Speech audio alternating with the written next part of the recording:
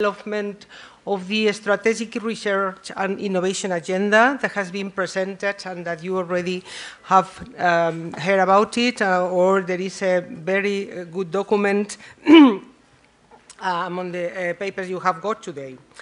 Uh, so from the beginning in the implementation plan to develop this what does your JPI um, consider the, the, the, opportunity to uh, launch joint calls for transnational collaborative projects based on common principles among all the uh, countries and funding organizations participating in the call. Those are focus on research need and R&D priorities identified by the SRIA. All of them has been developed under the Water JPI implementation plan. It is based on a variable geometry and flexibility of research funding organizations, not only JPI members, as you will, will have the opportunity to see. Uh, we have count with many other funding organizations that are not part of the JPI. Um, we are based on uh, common international evaluation and based on national funding. So the funding for this call is basically coming from the national programs of the countries participated in the call. But also we have some contribution of the Commission due to our participation in the Seranet co-fund projects. And then we do also a joint follow-up and impact assessment on the project and on the calls. Um, here you have a summary of the joint call that has been launched until now. We have launched three in the, um, since 2013 to 16. The one was the pilot call, the second one that was only based on national funding. Uh, 2015 um, and 2016, there are two ERA-NET Cofunds that we call it like that because it's the way in which the project was named at the beginning. You have here um, the timeline of the Water JPI um, supporting projects and joint calls. Uh, so these are, for the moment, the three running um, project of the Waters JPI. The first was, was a CSA called Water that you have uh, heard about it today. Under this project, it was launched the first, we call it pilot call, that was on emerging pollutants. I will give you some information about more information regarding this call. The second one was launched in 2014 and it was oriented to research innovation and innovation for developing technological solutions and services. We call Waterworks 2014. Actually, the kickoff of this project uh, was taking place yesterday, as some of the um, researchers and coordinators for the projects are here with us today. And recently, in 2016, it has been launched Waterworks 2015, oriented to water in agriculture, forestry, and aquaculture. As you have also uh, heard in the presentation, there are um, two other additional projects on our pipeline. This is another CSA that is now under evaluation, and a second ERA-NET Cofund that is proposed for the next um, period of the H2020 work program. We have tried to cover some of the uh, needs, research needs, and uh, themes identified in this RIA. Um, uh, as, you, as, you, have listened before, the five different pillars of the SRIA, and we have shown here um, how the different code that we have launched address different research needs um, in this um, uh, uh, common SRIA. The pilot call was oriented to the identification and prevention on emerging freshwater contaminants, also to the control, mitigation, and methods for treatment and removal of pollutants, and also the impact on ecosystem services and human health. That was a, a pilot call with 8 million euros for the project to be funded, only national funds. Uh, the ERANET uh, um, Cofund Water Wars 2014, as you can see here, was more related to water treatment, reuse, recycling, desalination, resources management, and also to mitigate impact extreme events that floods and droughts at catchment scale. That was, um, has been a call with a total budget of 14 million, together National Fund plus EC Cofund. And the one that is now under evaluation is Waterworks 2014, as you can see, more oriented to water and agriculture. Um, this, this call, as you will listen um, um, soon, uh, is a joint initiative between Water JPI and FACCE JPI. That, that has been also a very important collaboration, it's been a very important collaboration between our uh, two JPIs. And that has an um, estimated budget of uh, 25 million. So altogether, that means that um, Waters JPI has been able to mobilize among the national programs plus the European Commission an amount of 47 million in three years. So I think that this is a, and then you will see also the mobilization of uh, researchers, stakeholders, and projects that has been participated in this call. So this is not the main activity of the JPI, but uh, we can um, consider that has been an important activity of the Water JPI. Um, the first call, um, it was funded by 10 countries that are uh, uh, named there. It was just a preliminary call to put in place all the instruments that we had to adequate. You can imagine that each uh, country have um, different um, um, procedures, most of them based on the common principles, but there are different requirements. So that was the exercise to, to, to do the fine-tuning of all the national instruments to be able to run a joint call. Um, 105 proposals were received, seven projects funded with a total amount of 8, um, 8 million euro. The second one um, already had 15 countries. We counted many of the partners, some associated, and some non-partners of the JPI, plus the EC Cofund. And we have also an international partner that was uh, South Africa joining us in this call. That was already a two-step procedure, but uh, um, uh, seems that is a quite adequate procedure for our calls. We received 118 pre-proposals, 15 projects were funded, and uh, four, um, 14 million euros allocated to this call. And the one that uh, is now under evaluation, as I told you, uh, is counting with 22 countries, including um, other international collaborations that we have started at the JPI, like Canada, Egypt, South Africa, Taiwan, and Tunisia. It's also a two-step procedure. It's a joint initiative between JPI and FACCE. So we have able to recruit some agencies that were participating more on the field of agriculture with FACCE, and now they have joined our call. 200 proposals and an estimated budget of 25.5 million euros. Just to give you an idea of about the distribution of uh, of, um, and the participation countries in the different calls. This is the image of the first pilot call, the distribution of proposals and coordinators among the participating countries of the 102 proposals. Uh, this is the distribution of proposals among participating countries in uh, Waterworks 2014.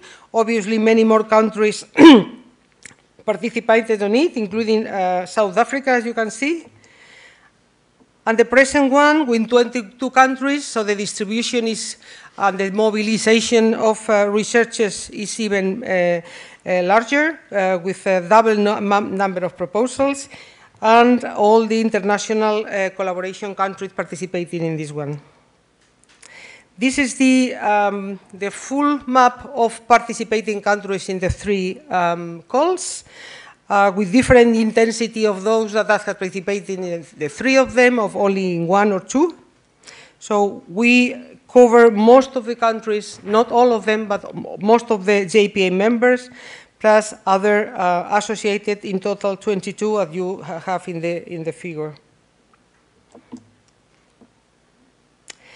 Just to have a view to the funded projects, the distribution of the funded projects among the participating countries, we, we have been able to get um, um, participation of research organizations for most of the project of the countries funding the call. That is an important um, uh, value for our initiative, uh, and that is the case in the pilot call. It was the case also in the Waterworks 2014. Obviously, the effort is different because the number of proposals presented were very different, but um, most of the countries allocated national funds for this call are participating in the funded projects. Um, you can see also the even small countries with a quite few number of proposals um, they were participating in consortia. The, the, size of the consortia is around um, between three and eight, let's say. Normally, the, the average could be five uh, partners uh, per proposal, um, with a final total budget close to 1.5 million. This is the figure just to give you an idea of the evolution of, of uh, our um, figures and dates. This is the evolution of uh, the number of countries in the three calls that have been launched. The evolution of proposals presented to the call in this, uh, from the pilot to the what was 2015. This is the number of projects funded in the first two, an estimation, a possible estimation for the 2015. And you have here also the increase of national and EC budget to the, to the calls. So um, we are quite satisfied by the evolution of these figures. Um, we know that beyond these statistics, there are also other achievements that I want to comment very briefly. Um, these calls over these years has um, permitted to implement many areas of our strategic agenda, and we are planning to be also very selective and focus the effort on some of the um, uh, um, priorities and needs um, um of this RIA coming to um, uh, contribute to the social challenges in Europe and beyond. Um, the research funding organizations have increased significantly their national funding to join call. We have also obtained, as you, as you have seen, significant support by the European Commission, um, implementing to implement our SRIA, but also to implement some areas of interest for the uh, uh, Societal Challenge 5 work program. Also, we have uh, got, um, I would say that um, enormous um, submission, um, number of submission, submitted proposals for the budget available. So that means that uh, uh, the mobilization of researchers of the different countries in, this, in these calls has been important. It seems that the format, the consortium size and the budget seems to be adequate for transnational cooperation. Um, we have um, the requisite of five different countries per consortia, but I, I, as I told you, the average is around four or five um, uh, countries per consortia. Um, some countries and agencies have grounds for improvement, um, the participation in the joint calls, but most of the um, research funding organization, as I told you before, has been presented in funded projects. The cooperation, we want to highlight the cooperation with FACCE in 2014. That is the first, as far as we know, inter-JPI cooperation, and is a path for future cooperation in different needs to gain synergy and to complement approaches um, to uh, societal challenge, to explore more thematic synergies and coincidence in this area, and that probably could be also extended to them um, JPIs uh, close in, in, in um, scope to water JPI, it could be uh, also climate or, or, urban Europe or um, some other JPIs as uh, antimicrobial resistance is another um, uh, JPI that could have some um, um, research needs and priority in common with us.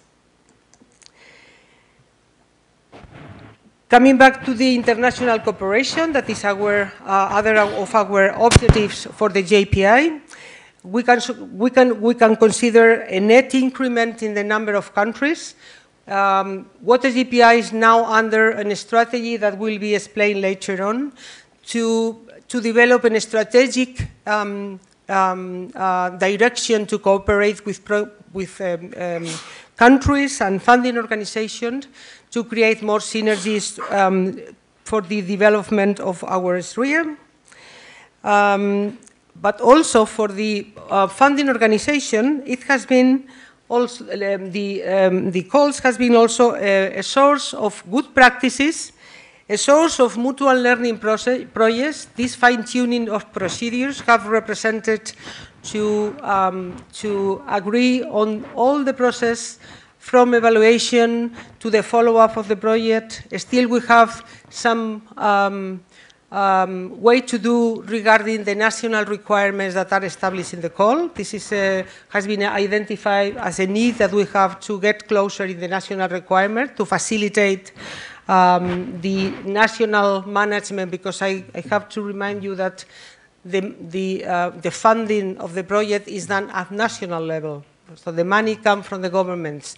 So the final um, uh, funding of the project is made at national level. So there are also some requirements that we have to approach and to um, um, get more, homogeneous in the different countries.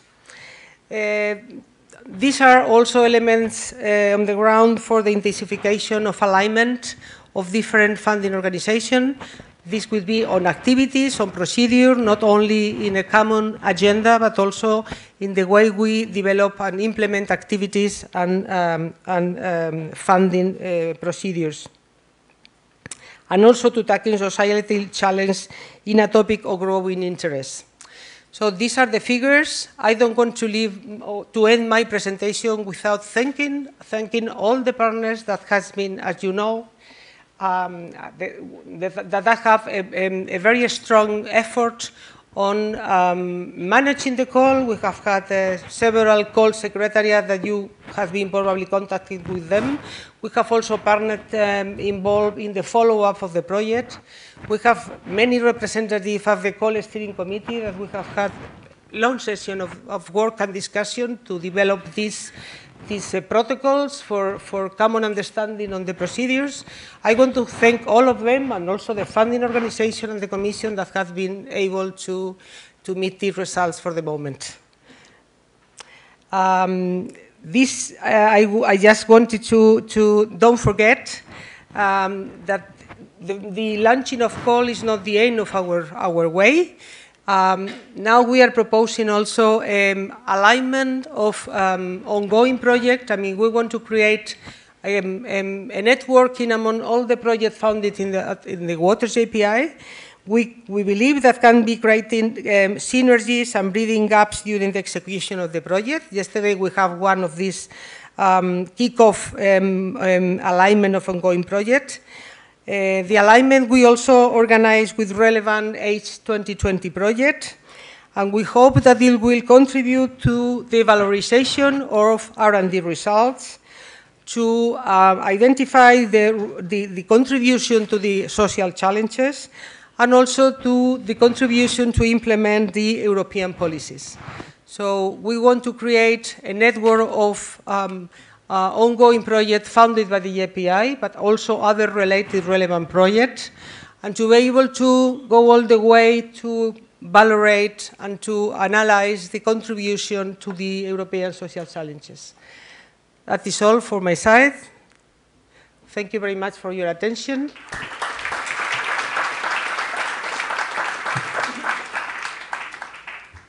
Thank you, Rosa. Uh, and uh, thank you for the figures. Uh, it may be new to some people. Uh, we now move to the second uh, roundtable uh, workshop. as in the first one, I will hand the, the chair over to Laura Raaska from, um, from Finland, and she will invite the six or six speakers, I think, to come and sit at the top table.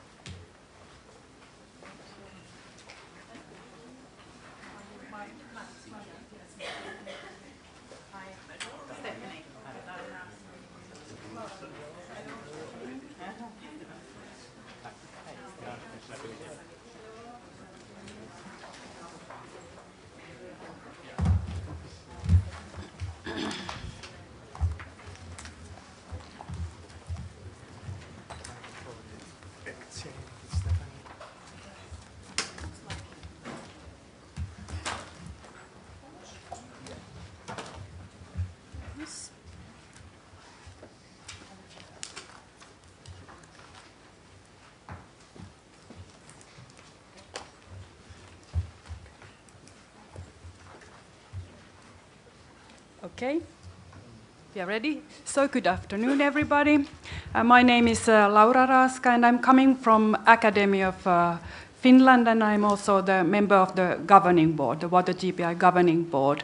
And I was, uh, or the Academy of Finland was very much involved with the pilot call process. So this is really a very great pleasure for me to be able to moderate this um, roundtable discussion or this panel discussion. So, uh, to start with, uh, by introducing uh, our very experienced uh, uh, panelists that uh, represent very different and wide approach to water domain. Maybe we will start from, from the right side. Margit, could you start by introducing yourself? Okay, my name is Margit Noll. I'm not a water expert. I'm chair of the uh, JPI Urban Europe. So I'm trying to link the, your water expertise and your research agenda to our urban research agenda. And it's a pleasure to be here. Thank you. Please, Stephanie. Hi, I'm Stephanie Rinck-Pfeiffer. I'm the Managing Director of the Global Water Research Coalition. And I will introduce myself a little bit more when I go through my few minutes. Hello, my name is Helmut Löwe from the German Federal Ministry of Education and Research, Deputy Director of the Division Resources and Sustainability, and I always introduce myself of being the Aquarius of our ministry. And you are also the member of the governing board also, of Water yes. JPI. So please. Yes, thank you. I'm Panos Balabanis, so I'm the deputy head of the Eco-Innovation mm. un Unit in uh, the European Commission Directorate General for Research and Innovation. And I have been following also the developments of the JPI, but more generally also I follow the strategic preparation of uh, water programs and more relevant, you know, environmental mm. programs. Yeah. Thank you. Thank you. Uh, yeah, my name is Don Pierson. I'm a researcher at uh, Uppsala University, um, and I've just received a. I'm, I'm leading a consortium of a JPI project that's just starting now, uh, Prognos, uh, I'm, I'm really more of a scientist um, and a researcher, uh, but I have, for the last about 11 years before I came back to Sweden, also worked as the, uh, the chief of water quality modeling for New York City water supply as well. So I, I know a little bit about that side of the, of the picture as well. Dionisio, please. Yeah, well, thank you very much for inviting me to the organizers. Uh, my name is Dionisio Perez, and I'm a researcher here in, in Italy. I'm based in Venice in the Fondazione Enrico Mattei and the Euro-Mediterranean Center on Climate Change. Uh, I'm Spanish, so previously I have been working for seven years uh, in Spain. Um, my research is mostly focused on issues related to water scarcity and drought. Thank you, everybody. Um, before we start uh, this panel discussion, I would like to say, say a few words about the implementation.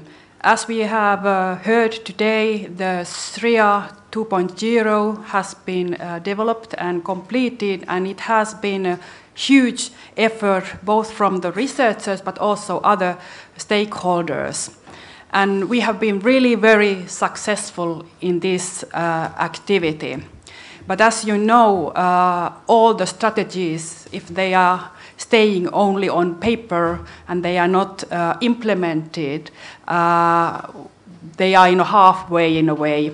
Uh, so I think it's really very uh, important in this respect to turn SRIA to real uh, actions. Uh, it is really important that we implement it efficiently, proactively, having cooperation for worldwide. Um, it is important that uh, this implementation activities result in high impact at all levels, national level, uh, regional level, EU-wide level, and even on global level. So I think that uh, now when the SRIA 2.0 has been uh, developed and completed, and the next step will be the um, uh, planning of, of the implementation of this uh, strategy. Uh, this discussion will be really important for the next steps in water JPI. And I also hope that uh, you in the audience think about questions and comments while panelists are giving their statements. And I hope that this session can be uh, proactive or interactive.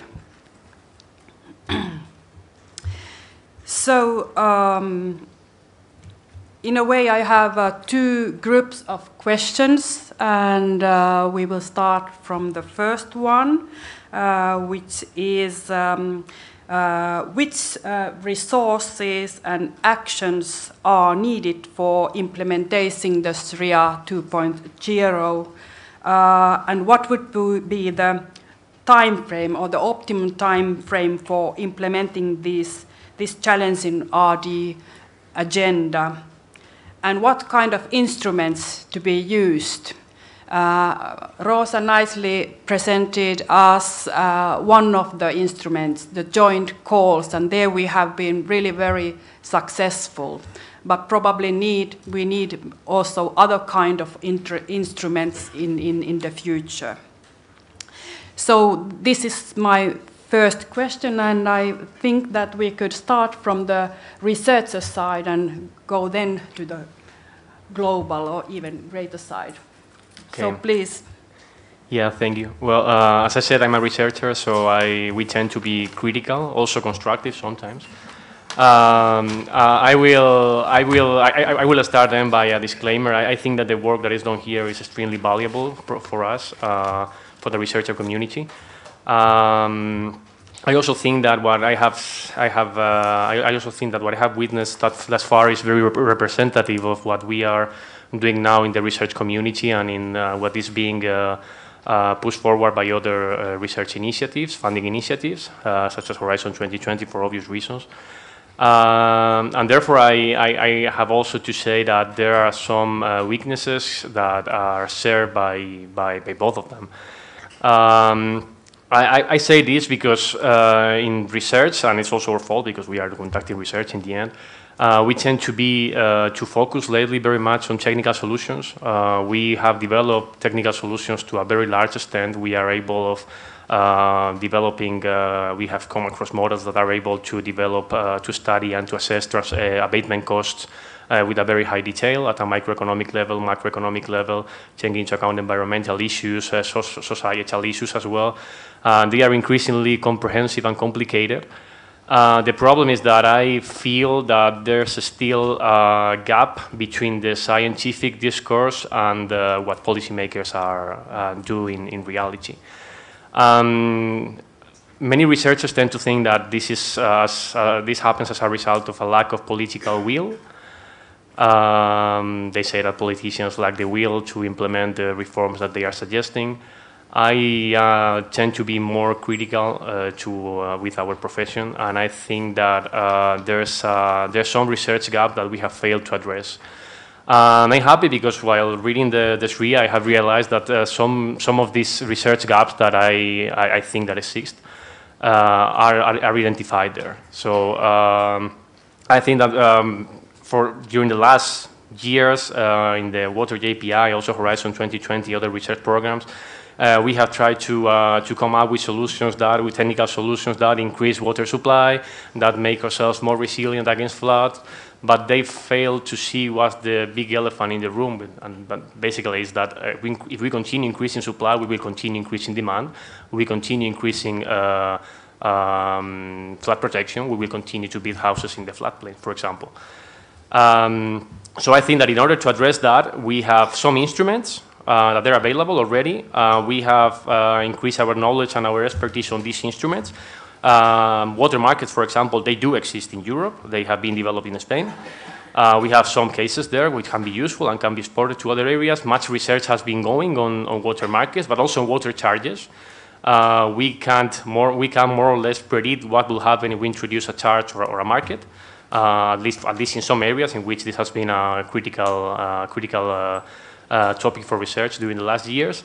The problem is that for in some cases, for obvious reasons, they are not implemented. And I think that Uh, in the RIAS mentioned, uh, there, this is all to a series of barriers that continue to exist and continue to uh, prevent the implementation of some instruments that we already know in research, uh, I, I, I won't say very well, but we know, and we know what to expect. Uh, the treatment has been advanced to a very large extent, and we are in a position in, we, in which we can start to introduce them. But this requires some other type of research uh, that we are in position to, to, to address right now as well which is related to things like uh, institutional barriers, institutional economics, uh, institutional research, transaction costs, and so on and so forth. Um, and I, the, the, the, main message I wanted to convey, and with this I, I will finish, um, is that if we managed to, uh, in some of these uh, of the Water JPI calls, to uh, not to focus only, of course, but to have like um, to give more relevance to this type of research, to, the, to, to, build, to, to build the gap, to bridge the gap between uh, what has been already done, what's, what's in the corridor, for example. I mean, a lot of research, of technical research, and uh, the policies that are actually implemented. We may come up with many solutions that already exist. We may start to implement many solutions that already exist, and we may reduce the time frame uh, in which we could uh, address the, the challenges that are present in the, in the sphere. Thank you. Thank you, Dionisio. And then Don. Uh, hi. Uh, so I want to discuss not so much the implementation of, of these tools and, and management things, but a little bit as a, a, a researcher developing or running a project, some of the issues that are concern me about actually building some of the tools and, and processes that we need to do. And I, I want to start by focusing on sort of our mantra, which is up here, and it says water challenges for a changing world. And I really want to focus on the changing world and how that relates to management.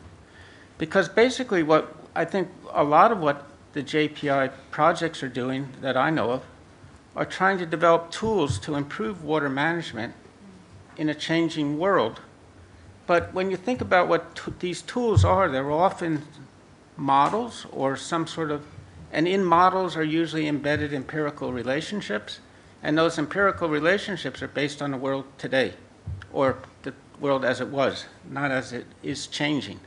So the, the, the key point I want to make here is that even though we're developing these tools, we, and we should develop these tools, but at the same time, we have to always be aware that they're being they're changing. They need to be monitored. They need to be checked, and the the, the time frame is that it never ends, in my mind. Uh, there, we always have to be thinking that we have to be reevaluating our tools to try to improve them because of this changing world that we live in. So that was the first point I wanted to make. Let me see what else I have here. Uh, uh also related to the changing world, there was a lot of talk yesterday about uh, the importance of extreme events. And I would also argue that even less extreme, but sort of uh, short lived events or episodic events are also extremely important in shaping water quality.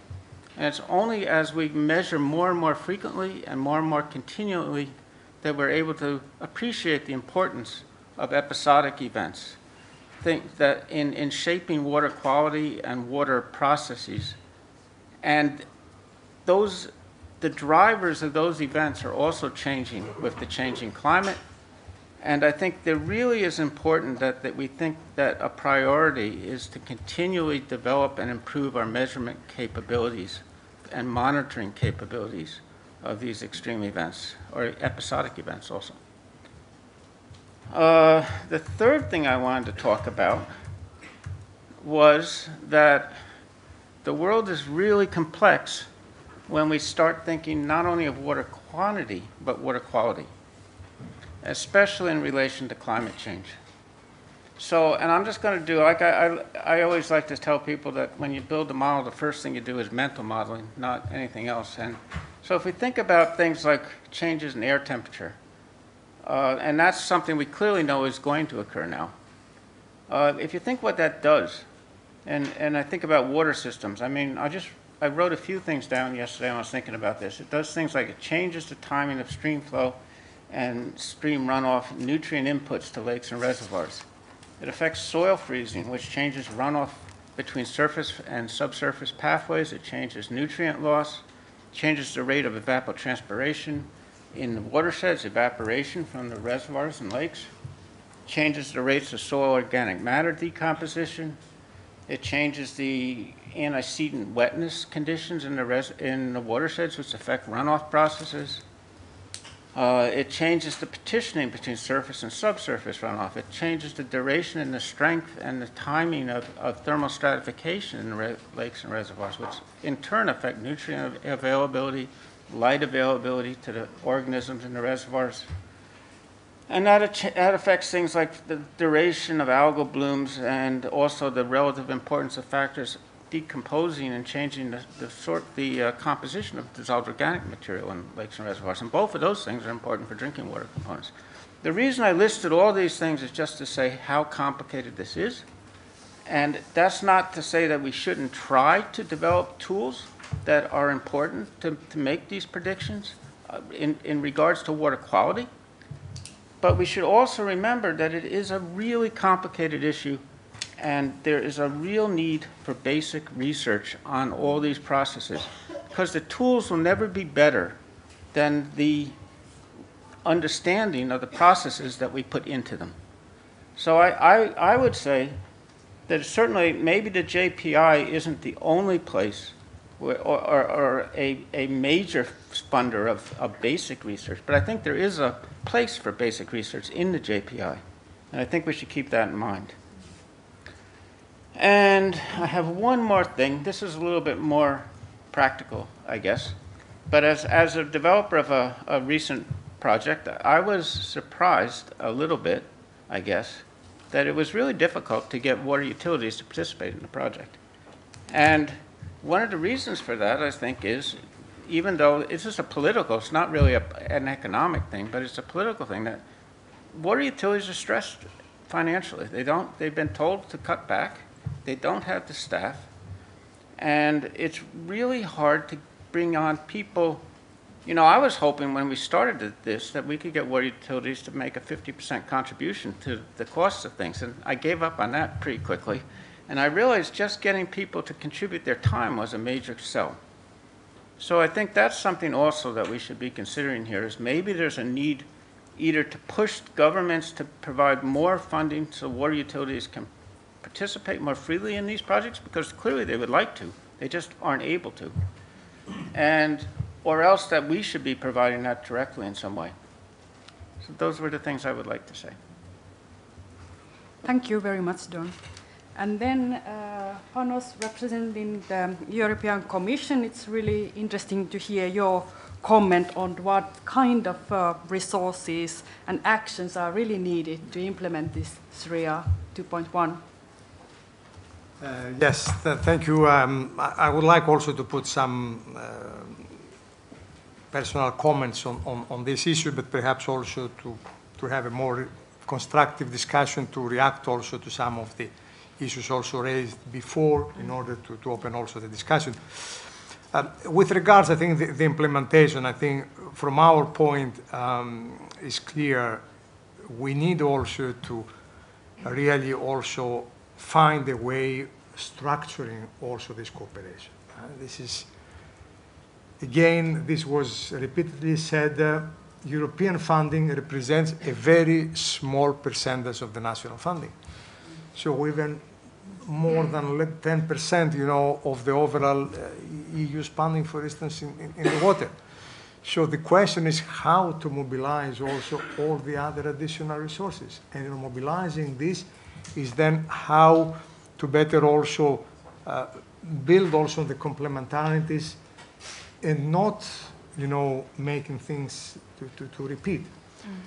And, and this is something which is perhaps um, linked also with um, uh, some comments about, you know, the science, the policy, that, you know, the policy people are not uh, hearing, and it's difficult perhaps to communicate.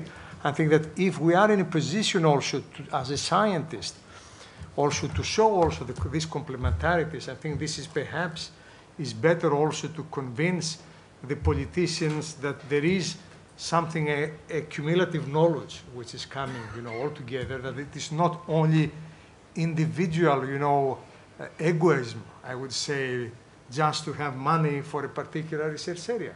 Because we have to, to, to open, to have to be clear how things are, are, are also uh, uh, done and how budgets also are allocated at the regional, national. Uh, there is no always a, ra- a rationale behind. There are also different other parameters. But I think if we, as a scientist, together, that shows that there is a kind of uh, um, combination and way, you know, to come better, and to avoid also the, the duplications and the and the uh, um, uh, also and strengthen more the complementarity. I think will be very important. Another issue I think which is very relevant also for the implementation, I think, is the fact that we have also at a certain point um, to really make a real assessment. Very often we have, you know, activities under Horizon, we have activities under the member states, we have activities under the, the JPI. How to better, you know, create a way that, you know, at a certain point we are in a position to say a kind of a state of the art. I take the example of the IPCC, and I will plead for that. Are we in a position, as a, for instance, a water community, to make something similar like the IPCC is doing?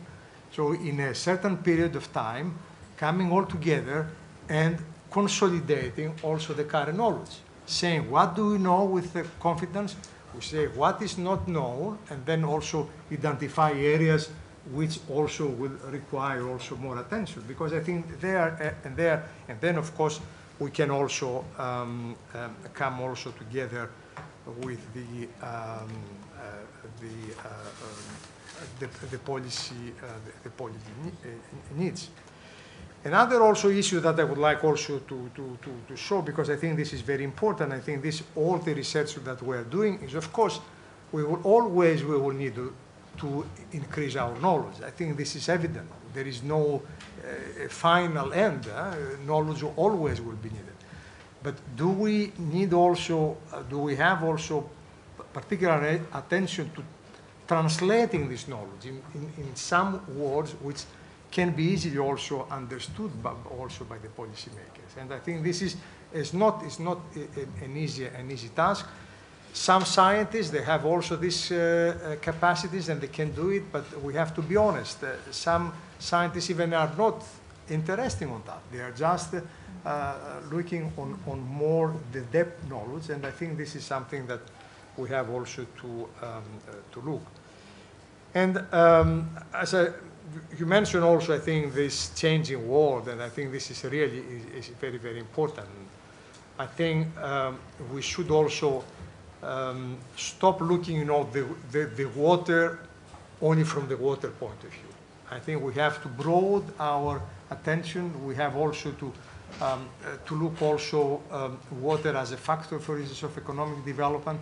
And in this context, I think this will be more better to um, uh, um, uh, give also more high relevance and also acknowledgement that the research which is we are doing instead in addition of increasing also the knowledge can also have also practical implication. And this is perhaps the way that then to um, help also the stakeholders like you mentioned utilities also to, um, uh, to, to be more uh, uh, aware on, on, on this.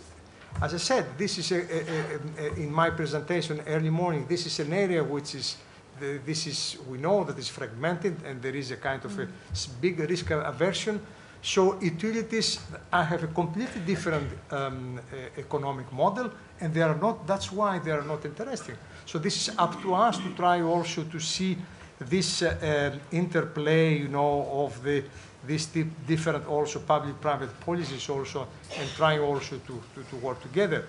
And I give an example. I was recently in um, a conference organized by Financial Times on water, where there were plenty of um, uh, um, industries, in particular also um, uh, industries working on food, uh, on uh, companies, you know, beverage and all this type of thing. And I was astonished to um, understand there that these also companies are not anymore dealing with, for instance, wastewater treatment. They prefer, for instance, to go and with farmers and to go up uh, uh, front uh, to the to the valley also and try to build, you know, on best agricultural uh, management position, uh, practices and strategies to reduce also the pollution, to avoid also the cost of the of the of the pollution. I was astonishing that this is uh, something that companies also are doing. So this is a way that we need also to try also to uh, come more closer together. So I stop Thank for you. a moment Thank here. you, Panos. And then uh, Mr. Helmut Löwe. Floor is yours. Yes, thank you, Laura. So, just to come to the uh, remark of the of Dionisio. So I've also been a researcher, but this is more than 25 years ago. But nevertheless, I'm still critical. So also as a program owner, you have to be critical because you spend your taxpayers' money, and this has to be viewed critical. So I'm aware of the question, Laura. Don't get nervous. Uh, I will answer it nervous at all. after the statement. Uh, um, no, just joking. But you allow me some preliminary remarks, please, because I think something which should be reminded on here in these discussions is that we spend a lot of money for the research on biodiversity, just to keep the variety of plants and animals around the globe. Um, and we should keep in mind that there is a biodiversity of our water systems within Europe, within the different member states. So we are not supposed to homogenize everything, um, and I will come back to this in the end. And I may give you some numbers for Germany, just that you get an impression to your own country how different the situations even around Europe are. Um, so just some numbers on, on water use. So of our total amount of water use, we spend about 15%, 1.5% for the private households, and we spend 85% on our industry water use. And of this 85%, it's two-thirds for the cooling of our power plants. And water use in agriculture is not at all a topic in Germany. It's not even counted in the statistics because it's less than 0. point something, uh, 0 point something percentage. So just if you always see these slides, 70% agricultural water use around the world, I think it was about 30% in Europe. So in Germany, it's not a topic at all. Um, and the other story is the efficiency of water using or water supply. So we teach our children to save water not because it's few of it in, in Germany, but because it's expensive. So if they are too small, we keep telling them that they help the poor people in Africa by not using too much water. If they are grown up and understand the uh, story, then we tell them, look, we pay as a private person, I pay about five euros per cubic meter for the water, which is about half for the drinking water supply and half for the wastewater treatment. So this is a main driver in Germany, and it has been said also during the day that this may be uh, raisement of awareness necessary in some other places of the world that water may be a public good, but it doesn't mean automatically that it's, it's for free. Some numbers on the research funding, because I always think this is also important to put the things we are discussing here today uh, and in the JPI in general in relation to the whole story. So in Germany, we spend 84 billion euros per year for the research funding. This is all research. So this is not water research. This is all research on the total 84 billions, and only one third of this is public money, and two thirds of this is industry money. So the industry itself is the main um, driver in our research, um, and I don't say that public funding is not needed, but just as I said, to put it in relation to the story we are talking about today. And in our opinion, innovation is business. So innovation is mainly industry driven, and that means industry in many cases in our funding, even in the water uh, uh, research funding, they are not even interested in, in public money because this means automatically that this has to make public what, what uh, is their project on. So that also we should keep in mind when we talk about the implementation of uh, our SRIA at all. So there is a lot of money around from people which are not at all interested to discuss with us what they are doing. Um, and the last point on this, uh, or the second last point on the industry. So you can read in a lot of papers from the Commission and from other guys uh, about the European industry. So, sorry, there is no European industry. There are French enterprises, Spanish enterprises, UK enterprises, Finnish, German, whatever, and it, if it comes to business, they are competitors. So if we keep uh, talking, what can we do for the European industry? This may be nice, but it's not, it's not the reality if it comes to, to business. And just also regarding industry, another perhaps interesting difference, uh, I may just have chosen the, the French example. France, you have these big water supply companies. In Germany, we don't have them at all. So we have mainly uh, small and medium enterprises, SMEs, uh, regarding the water sector if it comes to components. And we have the water supply and the wastewater treatment mainly in public hands, in the public sector. So it's our communities and municipalities who treat uh, our wastewater and, and, and care about our water supply. Now I may just say a few words to the SRIA, which has been uh, told also as being heavy. I don't know where Patrick is, there he is. So it's, it's very heavy, I agree. It's 105 pages, and I'm very impressed that even the introduction, which means the short version, is 45 pages, which is also a lot, I may say. And I just may, may show you it's, this is our uh, from our ministry our strategy on the water research for the years 2012 to 17, 18, something like this. And it's 15 pages, one five.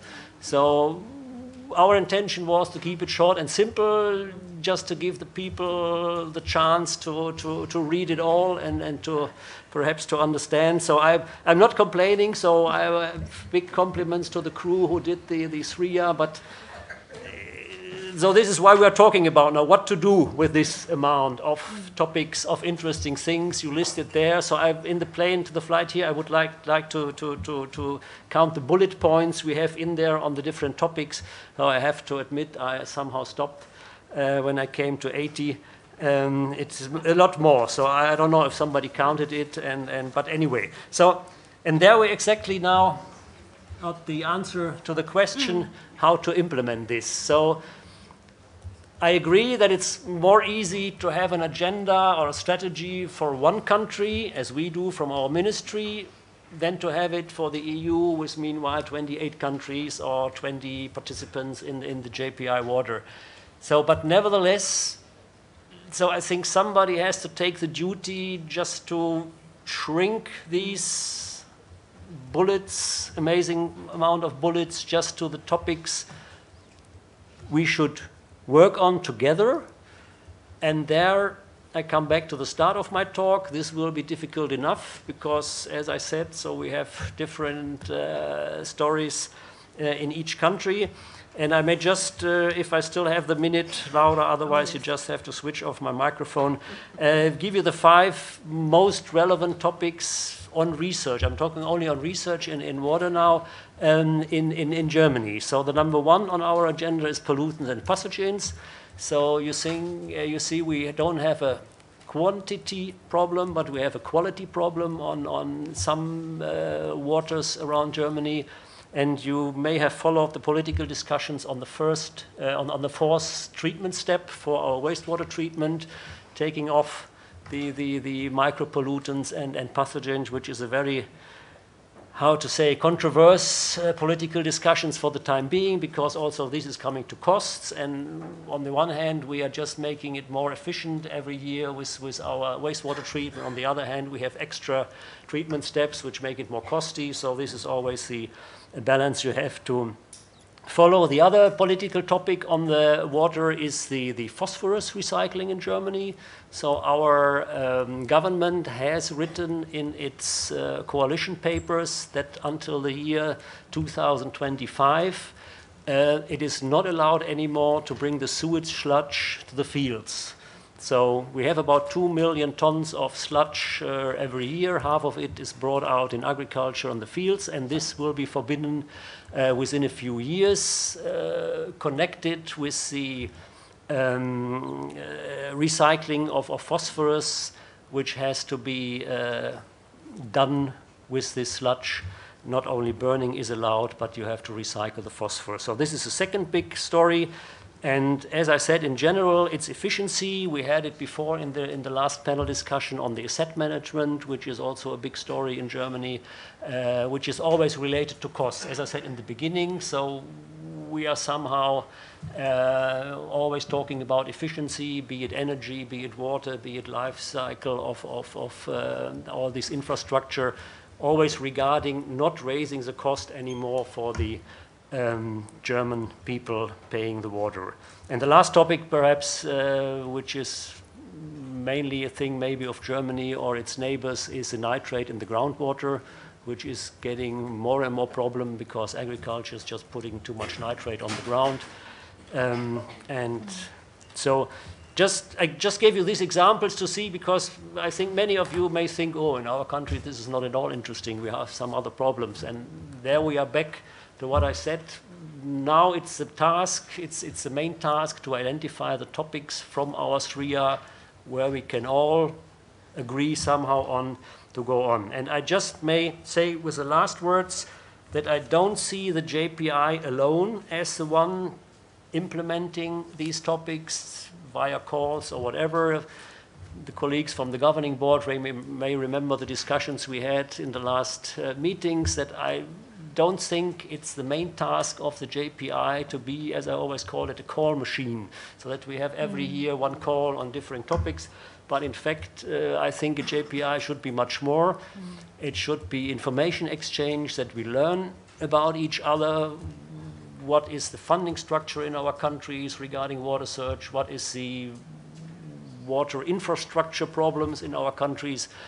And I think all this should be more on our agenda in the JPI. And the SRIA topics perhaps are more focused or should be more focused on uh, Horizon 2020 or other framework programs funded by the EU or even our national programs where this somehow also is a, I don't know how you call it in English, a closed circle, because we did give our input, of course, to the SRIA, because on the topics mm. we would have we would like to see there, and then we take the SRIA back as an argument at home to say, look, uh, this is an argument to do a research in this topic.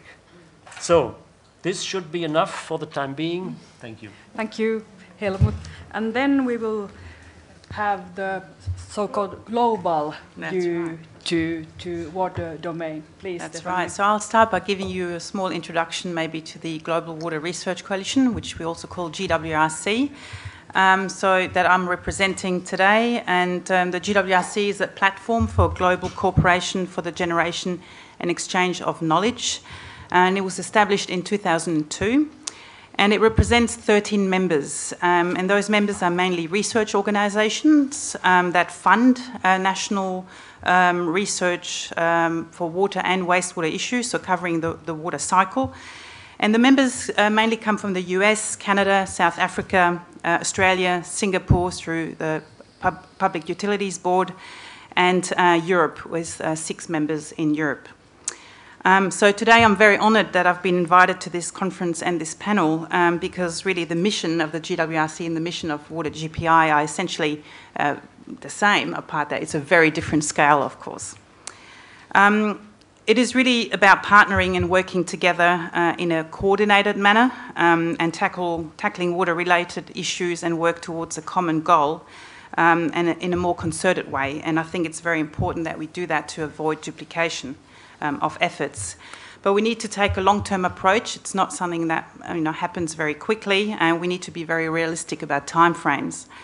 And I was very pleased to see in the um, new agenda or, or, or, the innovation agenda 2.0 that um, the agenda covers very much or 80% of the GWRC agenda as well uh, and the same research priorities. So I can see collaboration opportunities, definitely, um, so that we avoid duplication and efforts and that we direct our research funds in a, in a better way, a more coordinated way. In terms of actions uh, to implement the SRIA uh, or Agenda 2.0, um, I found that knowledge hubs work really well. Um, we have, and I've seen that in your agenda as one of the ways um, researchers can network uh, better together. And I found that knowledge hubs work well on topics where uh, different members or partners might already be starting research. So we are starting one on microplastics, for example, um, where we have a workshop um, actually this weekend. Um, where we look at microplastic, what are the members doing, um, where are the synergies, who's doing what, you know, which methodologies are being used um, by the different members. And instead of duplicating, it's really about sharing. So you might be sending samples or doing intra-lab uh, comparisons and, and not duplicating the methods. So you really, um, you know, share the, the methods, you share the uh, research results and the data, and you work together, again, minimizing um, the research efforts. And that's worked really well, um, Knowledge Hubs.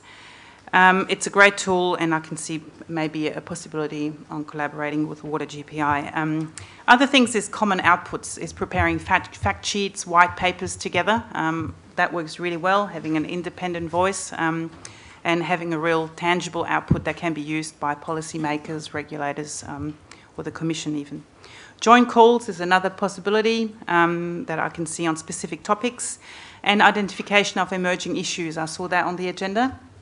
Um, and the GWRC does that um, twice a year, is looking at emerging issues uh, globally uh, across the membership. Um, they need to be tackled quickly. So microplastics, antibiotic resistance came up, but when e Ebola came out, it was very quick to say, okay, is this an issue for the water industry? Is it an issue for the wastewater operator? Can we write a white paper? What do we know? How can we work together? So it's really about a quick turnaround. And this is why it's, you know, it works quite well. We're, we're small, but we get very quick actions and fast actions. So yeah, so that's really what I wanted to say today. So it's about that I can see collaboration, that we're obviously much smaller, but um, you know, some members um, of the GWRC are also involved in Water JPI, so it should be quite easy to do. Thank you very much, Stephanie. And then Margit Noll, who represents another JPI, the Urban Europe. What is your experience how to implement the SRIA? So let me say that I'm really glad that I was invited to, to this event today because it gave me the opportunity to see how another JPI is developing and how you developed your strategy, what kind of struggles you had. And I just can say um, you're not alone. we, we, had quite the same experience. From what Enrique summarized, it was exactly the same that we uh, uh, experienced in the last, in the first phase. And I also see quite a lot of commonalities in the way how you found some solutions and developed some approaches. So I think there is a lot that we have in common in, in the way how we try to set up such an exercise. And uh, basically, um, besides some, some thematic priorities that we might share, uh, we have five thematic priorities in our research and innovation agenda as well. So 5 mm. seems to be the magic number of today. Uh, there are quite some commonalities, and maybe we can look into those later. Uh, but what I, what I think, uh, yeah, I would like to phrase it more in terms of questions. We are now into, we launched our research and innovation agenda in October last year, so we are quite in the same phase. We are now setting up different instruments and different implementation measures ourselves and raising a lot of questions to our member countries, to our partners. And I think we have quite of these questions in common, and I would like just to raise them. Right? Um, I, I, see the, the research and innovation agenda as, an, as a living document, and it seems that you're just finished the, the version 2.0 and you're now about to taking up the next phase. Uh, I think this is important. There are so many challenges ahead, so many topics pop up on a short term that somehow need to be addressed. And I think it's important to reflect those continuously and come up with a revision or a more precise development, more close specific priorities that need to be selected for the different calls. So seeing that as a living docu document, I think, is really important. It is demanding because it needs so much effort of all the community to, to meet, to discuss, to write some papers, to continuously lead that kind of strategic debate. The, the, main, the main issue I would like to address is related to instruments. And I would like to question if we have the right instruments in place to implement the JPI. Uh, what I learned today, and I think it's quite similar to a debate that we have in JPI Urban Europe, we, we are well experienced in developing technological innovations. We know how to play that game. We have our research communities, they are spending effort together in cooperation with industry, small and big ones, and then we're about to implementing these in terms of procurement or in terms of products or services. So we know how to do that. But do we have instruments that allow us to translate research into policy? Mm. And do we have instruments that allow us to support society when it comes to different kinds of implementation measures that we need to do together? So we don't. Maybe you have, we don't in the urban context. So we are about to, to develop instruments, um, frameworks for future research projects to involve those stakeholders. And it's not about lobbying. I want to comment on that from the morning session. It's not about lobbying. It's about sharing, committing, and engaging of different stakeholders in a very early stage. And this does not contradict fundamental science or basic research, however you want to call that, but it's about how do we define the main research questions? How do we involve the different kinds of stakeholders, policymakers, might that be city administration, water companies, supply industry, whoever it might be. How do we involve them already in an early phase of our research and priority setting? And so what we try to do is we try to engage them in different phases and quite intensively. And this is not only to understand their topics, but to raise the commitment. Because we can't do implement our agenda on our own. Um, looking into the urban issue, that would be absurd, right? So uh, everything is on the very local level at the end of the day. So we need to go there. And that means that we need to talk to the cities, and you might need to talk to those administrating all the, the water issue or industry. Um, so how do we find new mechanisms to involve these stakeholders? And how can we reflect those needs in our funding instruments? And when we take that a step further, then it's not only about doing the research projects, and I appreciate very much the, the statements before. In a way, that's the joint calls are important, and they help us to raise visibility, and they help us to work together. Uh, but then we need to do something with the results. Mm. And at the moment, we don't have a platform for that neither on the European level, maybe somehow on the national level, but basically not on a transnational level. So we need to generate platforms. Uh, at least we try to do that in a way to learn what the outcome of the project is. How, what can we learn from them, and how can we translate these research results into policy or mm. other kinds of actions? And, and this is demanding because we don't have the frame right, right now to do that. And you need to raise awareness in in, in, in the level of the, of the decision makers and the policy makers to come there and sit together with the scientists and do that. So I think we, the main issue is how can we set up these new frameworks that allows really to benefit from that kind of, of opportunities that the JPIs raise. And I'm very much looking forward to discuss that also with you. Thank you very much. Margit. I have another question, and if you have, want to reflect the, the other panelists' comments, that is also uh, possible. The next uh, or the second question is, is um, from your point of view or from your institution perspective, um, what are the opportunities to, for accelerating the research and innovation um, calendar? So uh, we would really like to hear what you will take on board.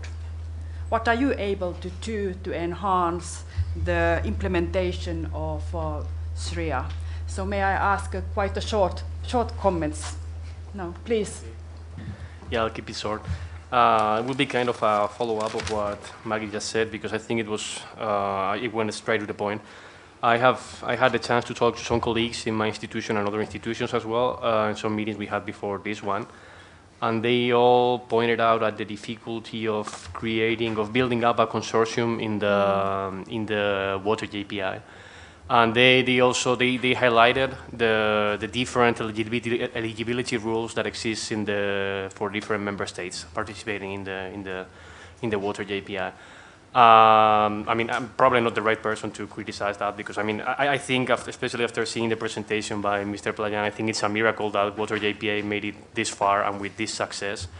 But now that we have come to this point, uh, I mean, there's always room for improvement. And I will say that if we have managed to agree to uh, an, an agenda. We have managed to agree uh, some specific topics that we need to address. Uh, it wouldn't be that difficult, or maybe it will be the next step. Maybe it's very difficult, very challenging. I don't know.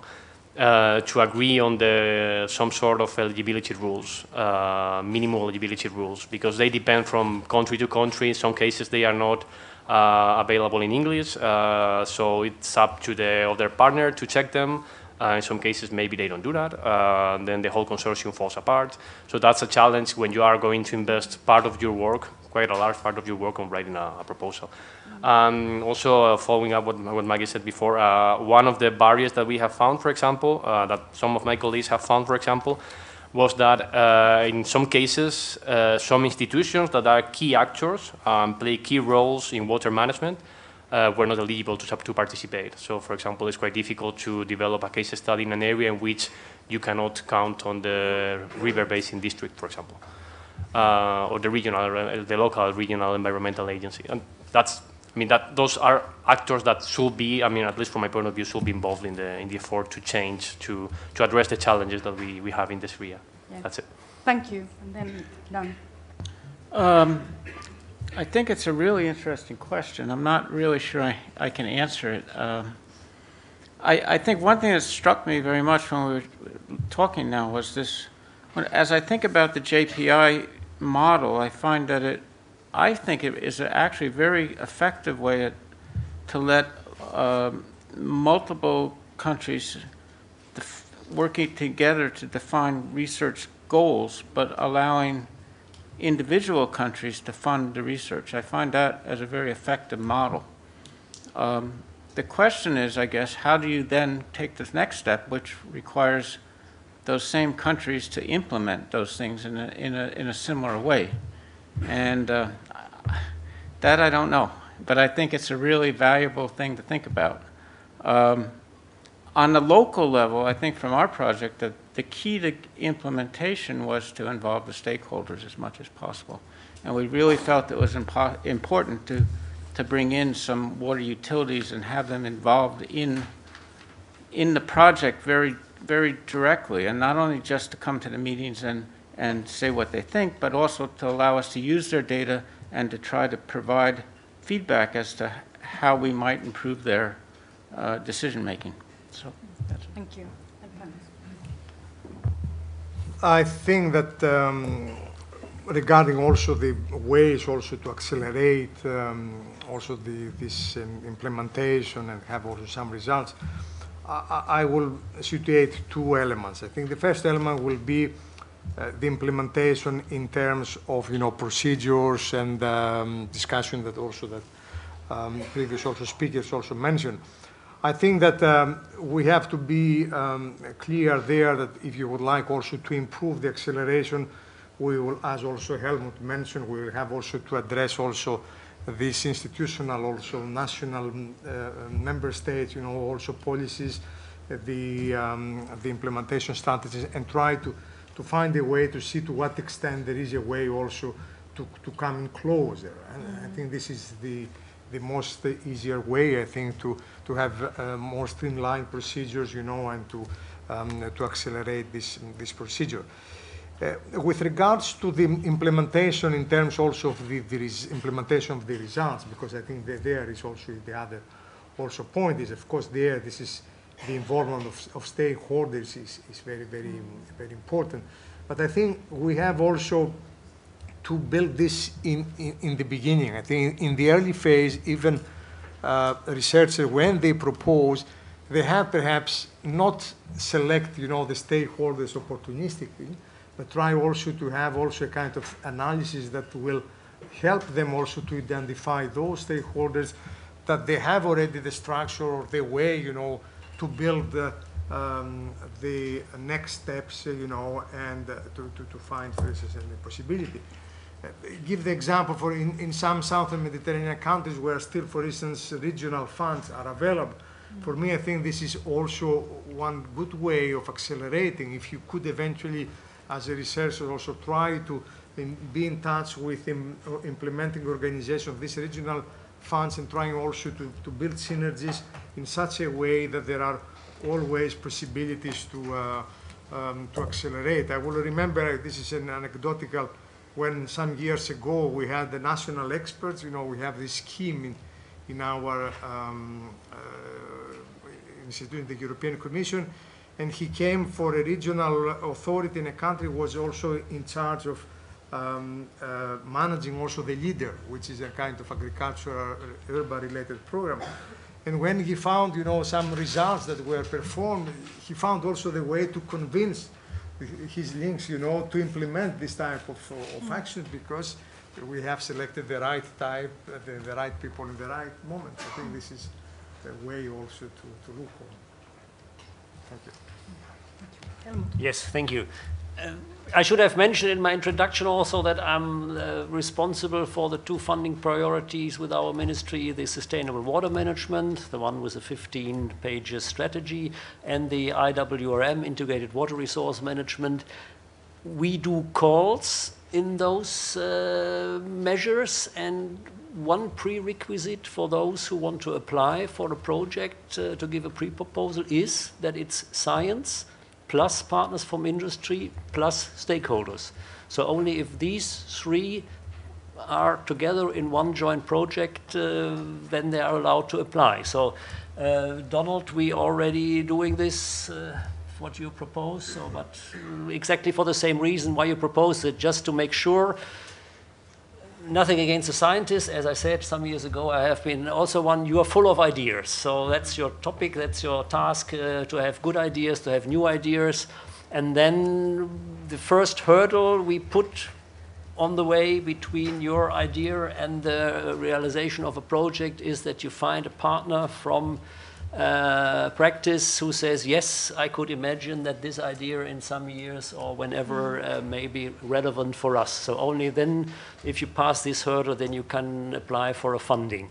So this is done, and this is exactly the reason what we're discussing now, just to make sure that these things uh, arrive as quick as possible in reality, I may call it. Um, and in addition to that, we are also in close cooperation within the German funding system with the organizations from the wastewater treatment uh, guys and the uh, drinking water supply guys who gives us their feedback, what is their needs for the future. And I don't know how, how in your countries, but in Germany, this is a very conservative business um, even drinking water supply as wastewater treatment because they say if my plant is running well, uh, we should not change uh, too much uh, on it. And the only thing you get them is then, as I said before, about efficiency, about cost, uh, and then you get them into these projects. So we are aware of that, and we think uh, that we should accelerate it by doing by including the partners into the projects and just to give you another number, so when I came uh, a few years ago in this um, area, they told me that it needs in Germany normally from a research result until it arrives in a standard or a norm between 10 and 20 years. So mm. I couldn't believe it, but it is exactly like this, as I said, due to the conservative um, discussions on this. So we are hopefully to, to, to accelerate this in the sense I just mentioned, and perhaps this is also a model for the uh, European funding in future. Thank you. Thank you. Uh, Stephanie, please. Yes, now I will be quite brief. Um, the GWRC is not a partner of Water JPI, but that doesn't stop, um, you know, collaboration opportunities. So I can see us, you know, sharing our priorities, or at least yearly being in contact on, you know, well, what are we working on? Where's the duplication, or the, the overline, and um, maybe even yeah work together on workshops or you know fact sheets or, or calls. So you know quite open for that collaboration. I think it's only a win-win and a positive outcome really for us and, and Water JPI. Thank you, and then Margit. Yeah, two, two remarks. One, one on the general level of JPIs and one related to Urban Europe in particular. Um, I think we need to, uh, in JPIs have been set up to accelerate research and innovation as such. I think this was one of the main intentions when the Commission introduced the instrument. And for that, um, my, my, feeling is that we need to better take use of the national competences, priorities, and strength that we have and connect them on the transnational level. I think this is an advantage that we have as JPIs, how we are set up based on national programs, on national priorities, on national strategies, and linking them, connecting them uh, on, the, on the European transnational level. I think we need to learn how to better take use of that. That would help a lot in order to, to use already knowledge that has been generated in our countries. Also on a regional level, I think the, the um, water is, is, the same as, as the urban context.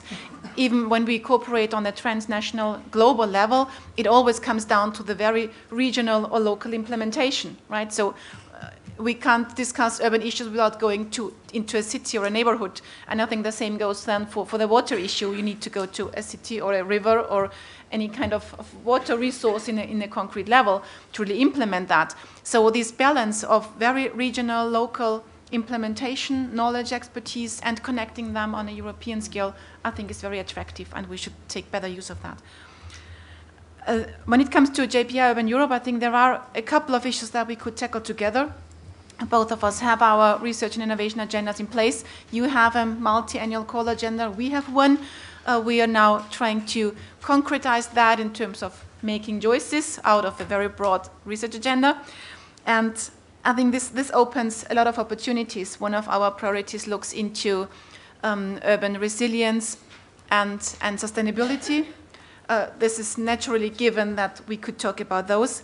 Uh, but beyond that, it's about urban governance and participation. Water issue, one of those issues we need to uh, consider when it comes to urban administration and management. But again, it goes further when we talk about welfare issues or about vibrant economies. So water goes into those in some extent as well. So I think it would be really great to talk about that. For this, it was really good to be here and, and learn more about the content and your procedures. And I think we'll find the ways and opportunities to take that further. Thank you. And now we have uh, around five minutes time for, for your questions and your comments. And uh, if we can be a little bit flexible with the time schedule, maybe we have a little more time. So please. Thank you. My name is Torbjørn Larsen. I'm from the Water Institute, uh, the Norwegian Institute for Water Research. Uh, two simple uh, wishes and recommendations. First of all, I want to say that the, the SRIAD 2.0 is, is very nice. It covers most of the important topics. It includes, takes back the environment and ecological issues in addition to the, to the water industry. Um, so that's very good. Um, please note that the format you have used in the previous calls has been quite successful, quite popular. And maybe it's not necessary to change so much for the next calls. Um, maybe you don't need to dilute what you already have with too many new instruments. So stick to what you have. Very many researchers find the, the JPI format of relatively few partners relatively easy compared to Horizon 2020 at least. So it gives many, many more people and research groups the possibility to collaborate across Europe, while the Horizon 2020 has become a monster that you need special expertise in coordinating. So keep it simple, use the model you have, and if you manage to make it, of course, streamline even more across uh, the different countries, that would be useful. Uh, one other useful thing would be if it would be possible to have a long-term plan for what calls, what topics would be in different calls. I think then you will have a bit fewer applications for each call because then people will see, okay, I will wait till next year because I see that my topic is covered next time. I think that will make it, um, you will get more or fewer proposals, but maybe more good proposals. Thank you. Thank you. Good coming. And the next one, please. Oh, Geneve from the European Network of Basin Organizations. I'd like to suggest to the Water JPI to include uh, PCP, pre-commercial procurement, uh, as a new tool uh, for supporting research driven by the public authorities, public utilities, basin organizations, because it seems that it could be a very nice way to bridge the last mile between uh, research result and uh, something which match 100% the needs of the uh, client, of the users. This is a way not to support directly the researchers, but to support the, the, the users to drive the research. Thank you. Thank you. And is there still, yes, there on the back? Thank you. Leonardo Piccinetti again from uh, Be Water Projects. Um, in our uh, studies where we tackled the funding agency problem, in particular for uh, climate adaptation and uh, river, basin issues, um, I agree that uh, one of the key issues is the is the problem of the joint call in terms of uh, bureaucracy, uh, the administrative, the language issues, the evaluation process this is very interesting to see how the new concept of the research uh, strategic agenda will be implemented in the future with the other JPI because there will be communalities of uh, to tackle these obstacles. So this is an important point also we would like to create this uh, opportunity with our project uh, funded by uh, FP7. Thank you and uh, here is the next question or comment?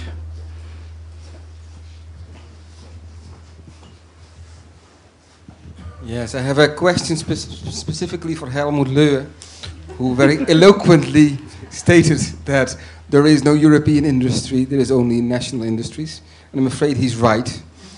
But I would like to hear from him whether he considers this as something positive, negative, neutral, and perhaps, perhaps looking back from it from the perspective of German's history.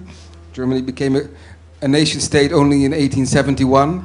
How long did it take the different German industries, regional industries, to say, no, I'm not uh, uh, from this Bundesland, but I'm a German industry. Thank you.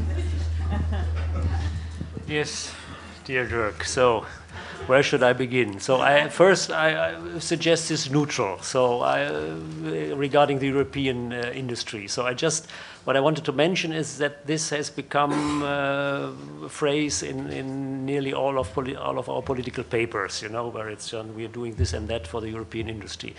So neutral, there is none. We all agree on on this. Um, yes, and the other question uh, is more a philosophical one. Uh, you know, the German state uh, had its time to develop, and we were also with the Roman Empire, uh, Christliches Reich uh, Deutscher Nationen, so I can't tr translate this into English. So this is um, history. So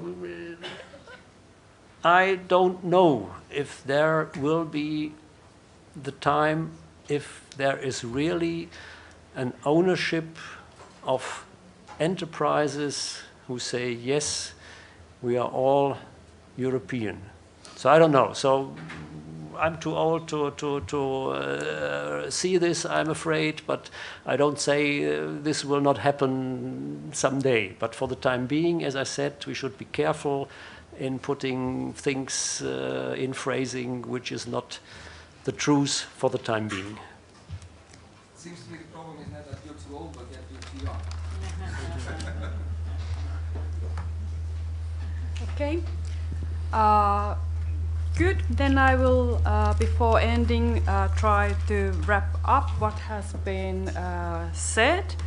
Uh, first of all, I think that um, mm, the panel uh, enhanced the gap between the scientific and, and, and policy or scientific community and policymakers that we need to have some kind of a way how to speak the same language with uh, politicians so that um, the scientific results will be um, uh, turned into an innovations.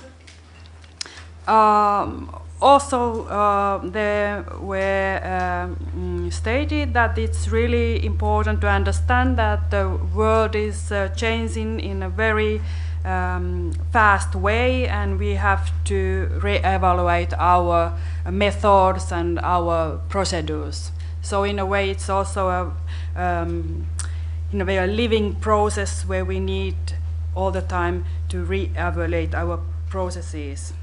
Uh, then there was uh, raised a very important, from my point of view, I think it's a very important point that uh, how to have a balance between uh, so-called basic research and uh, more innovation research, because both are needed, and uh, Water JPI can be a, a platform for both of those. Um, and one important point is that uh, as this kind of an um, international cooperation or European level cooperation is really important and in, in many state statements it has been stressed that uh, this is really beneficial for, for countries. Uh, this must be done uh, or try to do it in a structured way this kind of a cooperation and we, we need to have a stronger commitment from, from the national um, or member states. Um, then there was um, important uh, point that uh, the strategy is quite uh, heavy and it is really important that now we try to prioritize the uh, teams and the actions that we will be performing in the near future. Uh, we need to have some kind of a long-term um, schedule or long-term plan. Uh, what are we going to do by which uh, instruments? Um, and one of the things that was uh, stressed uh, was also that we need to have all the stakeholders on board. We need to have the researchers, the policymakers, and other stakeholders, the end users. And uh, for this, we need to have some kind of a platform how to do it. Uh, it was nice to hear that uh, the calls that we have so far performed have been very successful, and uh, at least uh, researchers were also uh, happy with them. So there is not much to be changed, but uh, maybe we should move also to other kind of um, um, activities such as knowledge hub and to have a tighter um, exchange of uh, knowledge between different stakeholders.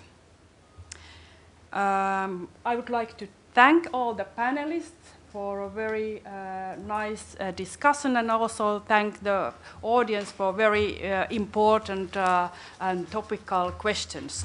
So thank you.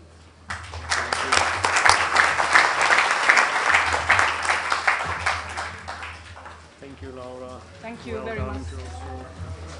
Thank you, Panos.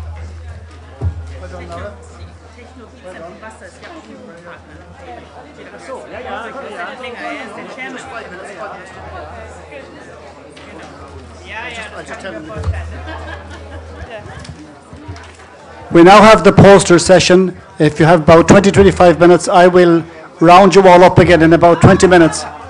Please, uh, please go and talk to the poster people. Thank you.